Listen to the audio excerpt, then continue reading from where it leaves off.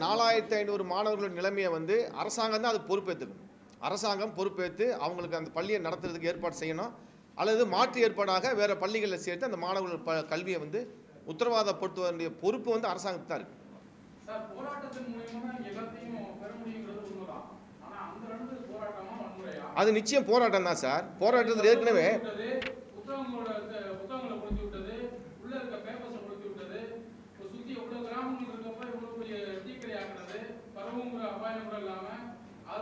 அங்கிருந்து படிக்கிற பெஞ்சு சேர்லாம் தூக்கிட்டு வீட்டுக்கு போனது ஏசியை திருடிட்டு போனது இவங்கெல்லாம் ஒரு அமைப்பு ஒரு ஒரு பிரச்சனைக்கு எதிராக ஒரு அமைப்பு ஒரு போராட்டம் நடத்துதுன்னா அது ஒரு ஆர்கனைஸ்டாக இருக்கும் சார்.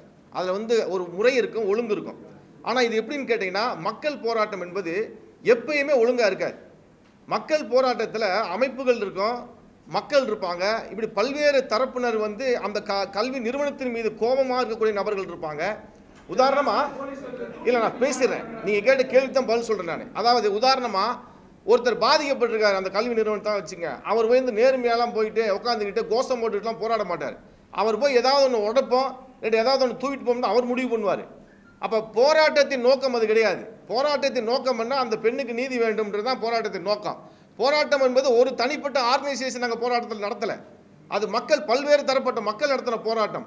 அது ஒரு ஒழுங்கில் இருக்கும் அப்படின்னு நீங்கள் நினைக்கிறது நம்ம நினைக்கிறதே தவறுங்க. அப்படி ஒழுங்கில் இருக்கவே முடியாது.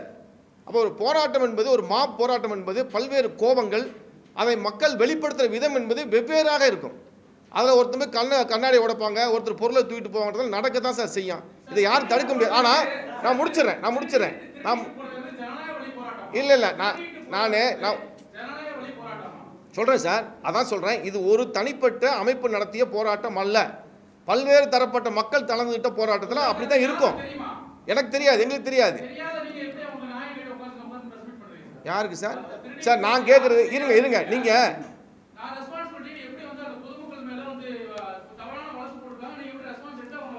அதான் அதாவது நான் கேட்குறது என்னன்னா சார் இந்த போராட்டத்திற்கு காரணமே அரசு தான் நாங்கள் பேச வரோம் நீங்கள் என்ன செய்றீங்கன்னா இந்த போராட்டத்துக்கு காரணமானவங்களாம் ஒதுக்கி தள்ளிட்டு நீங்கள் வெறுமனே வன்முறை என்று மட்டும் பேசிக்கிட்டு இருக்கீங்க.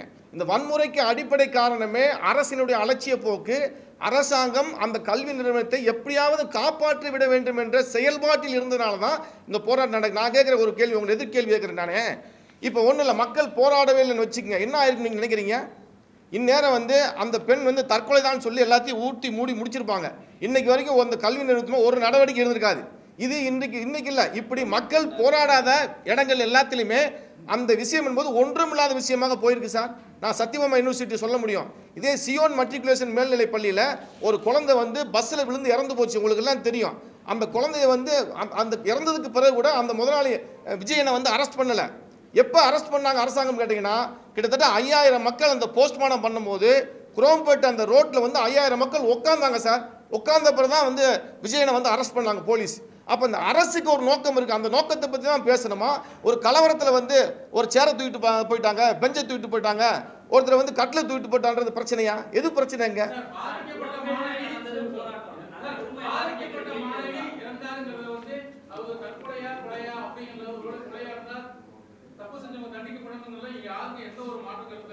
அதுக்காக நீங்க அவங்க யாரையும் எதிர்க்கிறதும் ஆனா இந்த போராட்டத்தை வந்து ஆதரவு வச்சு அவங்களை வந்து விடுவிக்கணும் ஆமா. தவறான வழக்கு போட்டுருக்காங்கன்னு சொல்றதுல இது எந்த வித முகாந்திரம் இருக்கு இது உங்க போராட்டத்தை கொச்சப்படுத்தல சார் நான் சொல்கிறது நான் சொல்கிறது வந்து சார் சார் நீங்கள் உதாரணமாக பேசு நீங்கள் சொல்கிறத நான் ஏற்றுக்கிறேன் நான். இப்போ ஒருத்தர் வந்து தீ வைக்கிறார் ஒரு பஸ்ஸுக்குன்னு வச்சுக்கோங்க. தீ வைக்கிறவன் நீங்கள் குறிப்பாக தீ வைக்கிறார் நீங்கள் பார்த்தீங்கன்னா நீங்கள் அரெஸ்ட் பண்ணுங்கள் சார் நடவடிக்கை எடுங்க சார். தவறு கிடையாது சார். ஆனால் என்ன நடக்குதுன்னு கேட்டிங்கன்னா ஒரு வாட்ஸ்அப்பில் செய்தி பகிர்ந்தவர் அந்த அம்மா வந்து பேட்டி கொடுத்ததை அழுததை பகிர்ந்தவர் வாட்ஸ்அப்பில் சம்மந்தமாக வந்து பேசிக்கிட்டவங்கலாம் நீங்கள் தேடி தேடி அரெஸ்ட் பண்ணிட்டு இருக்கீங்க. அதாங்க பிரச்சனை. இப்போ தோழர் சொன்னார் தந்தி டிவிக்கு வந்து ஒரு சேனலுக்கு வந்து அவங்க ஒரு விசி சிசிடிவி ஃபுட்டேஜை போடுறாங்கன்னு சொன்னால் அந்த முதலாளி போய் அரெஸ்ட் பண்ணுவாங்களா போலீஸ் போய்? அப்போ எப்படி வந்து இல்லை நான் என்ன கேட்குறேன்னா எப்படி உங்களுக்கு ஒரு பத்திரிகைக்கு என்ன ஜனநாயகம் இருக்கின்றதோ அது மக்களுக்கு இருக்குல்ல. மக்கள் ஒரு விஷயத்தை பகிர்வாங்க ஜனநாயகம் இருக்கா இல்லை இந்த நாட்டில்? ஒரு மக்களுக்கு பேசுகிற உரிமை இருக்குல்ல போராடுற உரிமை இருக்குல்ல செய்தியை பகிர்ந்து கொள்கிற உரிமை இருக்கா இல்லையா? வன்முறையாளர்கள் குறிப்பாக பஸ்ஸை கொளுத்துனவங்கள டிராக்டர் விட்டு ஏற்றினவங்கள நான் சொல்ல வரல சார் அதுக்குள்ள நான் போல. ஆனால் அந்த நிகழ்வு எப்படி நடக்கும்னா ஒரு மாஃப் போராட்டத்தில் அது நடக்கும். ஏற்கனவே தோழர் எலின் பாதி சொன்ன மாதிரி இது ஒரு தனிப்பட்ட ஆர்கனைசேஷன் நடத்தலை இது பல்வேறு தரப்பட்ட மக்கள் பங்கேற்கிற போராட்டம். அதில் ஒரு தரப்பு இப்படி செய்யத்தான் செய்வாங்க தவிர்க்க முடியாது. இதை ஏன் போலீஸுக்கு தெரியாதா? இது ஏன் அரசாங்கத்துக்கு தெரியாதா? தெரியும். ஏன் அரசாங்கம் தடுக்கலைன்னா இந்த கல்வி நிறுவனத்தை எப்படியாவது காப்பாற்றி விட வேண்டும் என்ற எண்ணம் தான் அரசாங்கத்துக்கு இருந்திருக்கு. அதுதான் அது அப்போ நம்ம எதை பிரச்சனைக்கு அடிப்படை காரணத்தை பார்க்குறதா? அந்த விளைவை மட்டும் நீங்கள் பார்ப்பீங்களா? விளைவை நீங்கள் பார்க்க முடியும்னு நான் சொல்கிறேன் சார். அதுக்கு காரணம் அரசு தான் பொறுப்பேற்க வேண்டும். ஒரு நிறுவனத்தில் ஒரு நிறுவனத்தில் தப்பு நடக்குதுன்னா அந்த திருமணத்தில் ஒரு பொறுப்பில் இருக்கிறது தானே பொறுப்பேற்க முடியும்?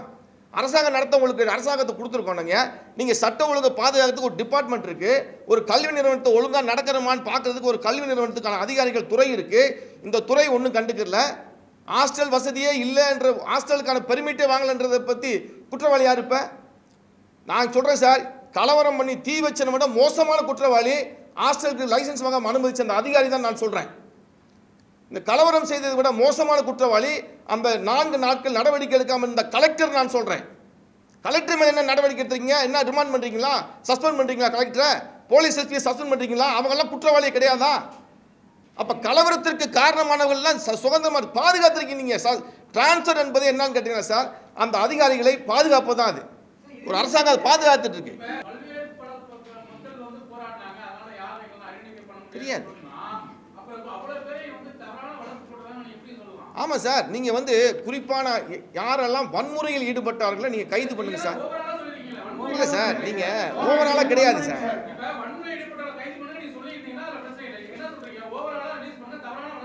ஆமாம் ஆமாம் சார் நான் சொல்கிறேன் சார். இல்லை சார் அதாவது நீங்கள் குறிப்பாக வந்து இப்போ தீ வைக்கிறவங்களை நீங்கள் பிடிக்கிறீங்கன்னா நீங்கள் பிடிங்க வழக்கு போடுங்க அதெல்லாம் இப்போ அது வந்து ரொம்ப ரொம்ப சிறு விதிவிலக்கான விஷயம் சார் நான் சொல்கிறது நீங்கள் சொல்லக்கூடிய விஷயம் ரொம்ப விதிவிலக்கானது.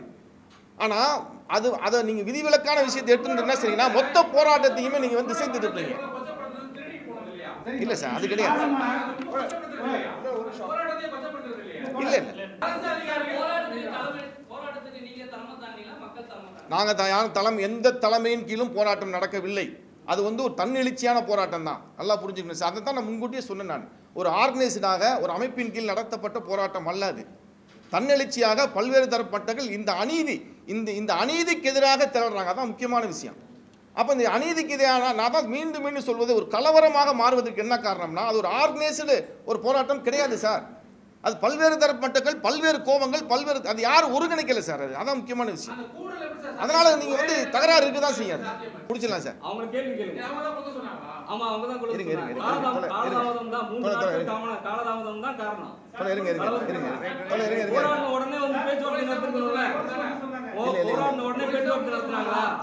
ஒரு நிமிஷம் ஒரு நிமிஷம். ஒரு நிமிஷம். ஒரு நிமிஷம் சார். தொலை இருங்க. தொலை சார் நான் சொல்றேன் சார். தொலை உட்காருங்க உட்காருங்க. சார் நான் இரு சார். சார் நான் இரு. சார் நான் சொல்றேன் சார். நான் சொல்லிடுறேன் சார். சார் நான் முடிச்சு தொலை ஒரு நிமிஷம் இருங்க. தொலை இருங்க தொலை இருங்க. சார் நான் சொல்றேன் சார் நான் சொல்றேன். நீங்க தயவு செய்து இந்த வார்த்தை இருங்க தொலை நான் முடிச்சிடறேன் தயவு செய்து நீங்க உங்களுக்கு ஒரு நோக்கத்துல இருந்து நீங்க வந்திருக்கீங்க. அந்த வார்த்தை இருங்க சார் இருங்க சார். நான் சொல்லிடுறேன் நான் சொல்லிடுறேன். நான் சொல்லிடுறேன் சார். சரி சார் நான் சொல்றேன். நீங்க அந்த சார் நான் சொல்ல போறேன் சார். சொல்றதை கேட்டுக்கு நீங்க பேசுங்க. இல்ல இல்ல நானே இன்னும் முழுமையா சொல்லல. நீங்க இடைமறிக்காதீங்க நான் சொல்றது அனைவரையும் விடுதலை செய்யற ஒரு வார்த்தையை நீங்க புடிச்சுக்கிட்டு பேசுறீங்க சார். அதனோட அர்த்தம் என்பதை நீங்க அப்படியே பார்க்க முடியாதுன்னு நினைக்கிறேன். அனைவரையும் விடுதலை செய்யும்போது நான் சொல்வது நல்லா நீங்க மீண்டும் மீண்டும் சொல்றேன். விதிவிலக்காக கொளுத்தியவர்கள் இடித்தவர்கள் உடைத்தவர்களை கைது செய்வதை பற்றி எங்களுக்கு வந்து ஆட்சேபனை கிடையாது. நான் சொல்வது விதி விலக்காக ஆனால் எல்லோரும் அதை செய்யவில்லை என்பதுதான். அதனால தான் சொல்கிறேன் அனைவரும் சொல்கிறோம் போலீஸ் வந்து என்ன செய்கிறாங்கன்னா கொளுத்தியவர்களை விட வந்து யாரெல்லாம் இதில் ஈடுபட்டவங்கள எல்லாத்தையும் கைது பண்ணுறாங்க நான் சொல்கிறேன் கொளுத்தியவர்கள் கைது பண்ணிக்கங்க சார். ரிமாண்ட் பண்ணிக்கங்க சார். பிரச்சனை இல்லை சார். ஆனால் போராட்டத்தை கலந்துக்கிட்டவங்கள கைது பண்ணுறீங்க நீங்க அடிக்கிறீங்களா சார் நான் சொல்கிறது உங்களுடைய உங்களுடைய கேள்விக்கு விளக்கம் சொல்லிட்டேன் நான். அடித்தவங்க தகராறு பண்ண அதாவது வன்முறையில் ஈடுபட்டவங்க கைது பண்ணிக்கங்க. அவர் சாப்பிட்டு வாங்கி சொன்னார்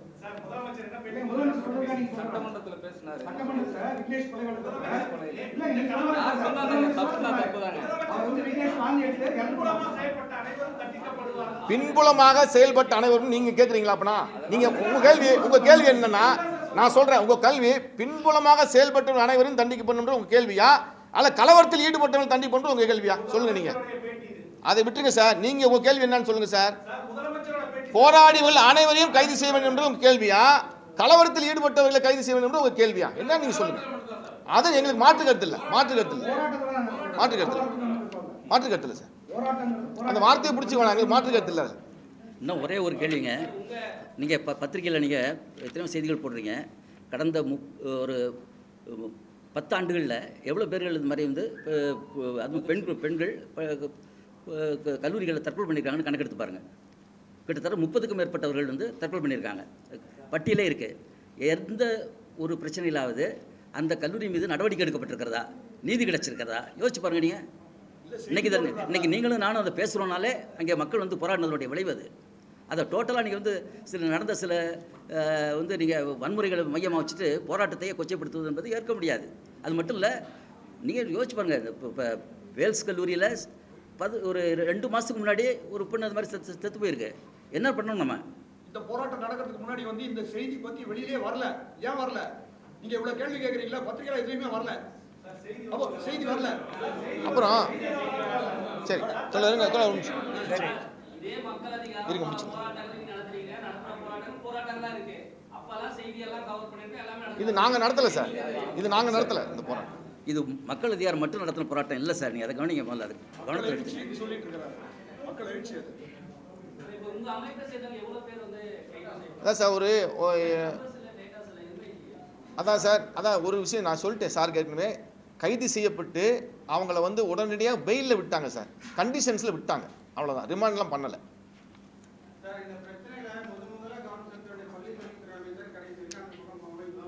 ஆமாம்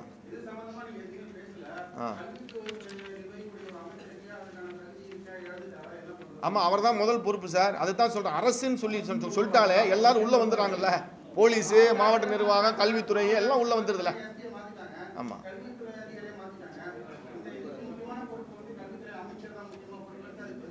ஆமாம்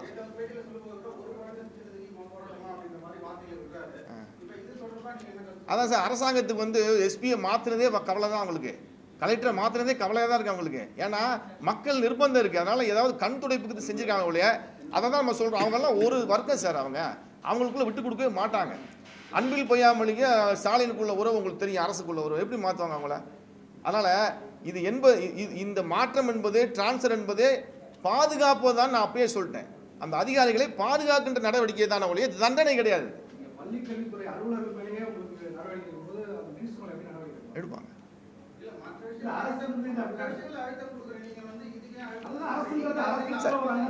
இல்ல சார் அரசு அரசுனால வந்துடுதில்ல சார் உள்ள எல்லாமே. இப்போ வந்து சார் நேற்று வந்து குழந்தைகள் நல அமைச்சகம் போய் ஆய்வு பண்ணி ஹாஸ்டல் வந்து பெர்மிஷன் இல்லைன்னு சொல்லி சொல்கிறாங்க சார். சொன்ன உடனே அந்த நிறுவனத்தில் ரெண்டு பேரை மாற்றிருக்காங்க ட்ரான்ஸ்ஃபர் பண்ணிருக்காங்க டிரைவரை டிரைவரை இன்னொருத்தரையும் ட்ரான்ஸ்ஃபர் பண்ணுறாங்க அப்போ அரசாங்கத்துக்கு லீக்கேஜ் ஆகக்கூடாது எல்லாமே. ரகசியமாக இருக்கணும் எல்லாமே. வெளிப்படக்கூடாது. ஏதாவது உண்மை வெளியே வந்துட்டா அவ்வளோதான் க்ளோஸ் பண்ணிடுவான் ஏதோ அந்த அம்மா தெரியாதனமாக உண்மை வெளியே வந்து சொல்லிருச்சு. அந்த அம்மாவை வந்து முதல்ல சொல்லி கொடுத்துருந்தா சொல்லாம கூட வந்திருப்பாங்க அந்த அம்மா. யார்? குழந்தைகள் நல்லா வாரியத்துக்கு போய் அந்த அம்மா இங்கே பெர்மிஷன் வாங்கலை. ஹாஸ்டல் சொல்லி சொல்கிறாங்க சார் அதெல்லாம் நான் யோசிச்சேன் இந்த அம்மா எப்படி தெரியாமல் சொல்லிட்டாங்க போல அப்படின்னு. தெரியாமல் சொல்லிட்டாங்க அந்த அம்மா. ரெண்டு பேரை ட்ரான்ஸ்ஃபர் பண்ணிருக்காங்க அன்னைக்கே. அந்த அந்த இதுலேருந்து ரெண்டு பேரும் ட்ரான்ஸ்ஃபர் பண்ணிருக்காங்க அரசாங்கம். அப்போ அரசாங்கத்தின் நோக்கம் என்ன சார் ஆரம்பத்துலேருந்து இது வரைக்கும் எந்த உண்மையும் வெளியே தெரியக்கூடாது. அதுதான் நோக்கமாக இருக்குது அது மட்டும் இல்லை அரசாங்கம் வந்து அது பிரச்சனையை வந்து தீர்ப்பதற்கும் எந்த விதமான நடவடிக்கையும் எடுக்காது. ஜி டிபி ஜெயின் கல்லூரியில் என்ன நடந்துட்டு இருக்கு அமைதியாக மாணவ மாணவர்கள் போராடிட்டு இருக்காங்க. கிட்டத்தட்ட ஒரு ஒரு ஆண்டுகளாக போராடிட்டு இருக்காங்க. எட்டு ஆசிரியர்கள் வந்து நீ பணி நீக்கம் செய்யப்பட்டிருக்காங்க. அரசாங்கம் என்ன பண்ணுச்சு? ஒன்றும் பண்ணல. அப்போ என்ன பண்ண முடியும்? வெளியில இருந்து தான் போராட முடியும். நன்றி சார்.